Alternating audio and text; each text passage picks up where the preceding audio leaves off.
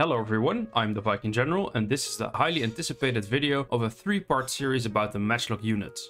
In this first part, we're going to talk about how to use matchlocks in battle. In the second part, we're going to talk about all the different matchlock units. And in the final part, we're going to see how matchlock units would actually fit into a campaign. Before we finally get into this, my trusty YouTube analytics page shows me that a lot of viewers haven't subscribed yet. It would really help me out a lot if you do. And if you also ring the bell, you'll actually be notified when I publish part 2 and don't have to trust the mighty algorithm to show it to you. Thanks. With that out of the way, let's begin. Matchlock units have two very distinct advantages over archers. The first that they pretty much ignore the armor on enemy units, so a volley into Naginata Samurai will kill about the same number of men as a volley into a unit of Yari The second benefit is that their volleys inflict morale penalties on a unit hit, which can be of immense help for routing enemy units. But how to use matchlock units in a battle? Well, the biggest thing to remember is that these units need a clear or straight line of fire to the enemy. This, coupled with the fact that they have a short range, means it's difficult to actually try to shoot the enemy while at the same time keeping them safe. In field battles, there are various tactical options to use them. The first to either have matchlock units firing from a hill onto flat terrain or from flat terrain up to a hill. This way you can have your matchlock units fire over your own troops and into the enemy. To see if your matchlock units have a clear shot, a useful thing is to zoom in as close as possible and try to see from their perspective. If the view is obstructed, then their shots are probably obstructed as well. The second is to have your matchlock units wait behind your troops on the flanks and as soon as the front lines engage, have them swing around the flank and shoot the enemy in the flank or the rear. The third is to intentionally leave gaps in your front line which your matchlocks can shoot through. The fourth is to put your matchlocks in a single or dual file in front of your front line, shooting approaching enemies and after shooting retreating to the safety behind your front line. Of course, these options aren't mutually exclusive, so you can mix and match. As you've probably gathered, most of these options are more easily done while on the defense. Attacking with matchlocks can be very difficult, just trying to march towards an enemy front line will see them being filled with arrows before they are able to fire their guns, especially on legendary difficulty. But matchlock units really shine the most during a defensive siege. When a missile unit is placed on walls, it gets a huge boost to their reload speed. This means that matchlock units are able to fire much faster than normal and can be devastating to advancing troops. To get the most out of these units, spread them out in single file and have a unit of Yari Ashigaru in Yari wall formation below the wall. In conclusion, having a few matchlock units in your army can greatly boost your range damage, in particular against tough elite enemy infantry or cavalry. They are good in defensive situations, especially defensive siege situations, but they are nearly useless during an offensive siege. While they do require a bit of micro to get the most out of such a unit, if you micro them well, they will definitely make your battles a lot easier. And of course, they are very fun to use. Thank you for watching.